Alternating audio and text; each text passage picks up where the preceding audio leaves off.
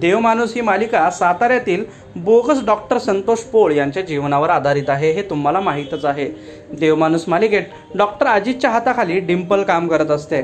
डिम्पलचं character सुद्धा वास्तववादी असून डॉक्टर संतोष पोळची मदतनीस ज्योते मांढरेच्या जीवनावर आधारित आहे. संतोष पोळ हा स्त्रियांना आणि पुरुषांना लुबाडून त्यांना फसवायचा. कोणी त्यांच्या वाटेत आडवा आला तर संतोष पोळ त्यांचा खून करायचा.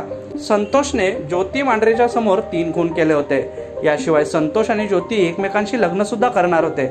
परंतु नंतर ज्योतीनेच पोलिसांना सांगून डॉक्टरचा खरा चेहरा सर्वांसमोर आणला. देवमाणूस मालिकेत सुद्धा डिम्पल डॉक्टर अजितचा पर्दाफाश करणार का हे पाहणं औत्सुक्याचं ठरणार आहे. तर तुम्हाला देवमाणूस ही मालिका आवडते का? या मालिकेतील तुमचं आवडतं कॅरेक्टर कोणतं? हे कमेंटमध्ये सांगा.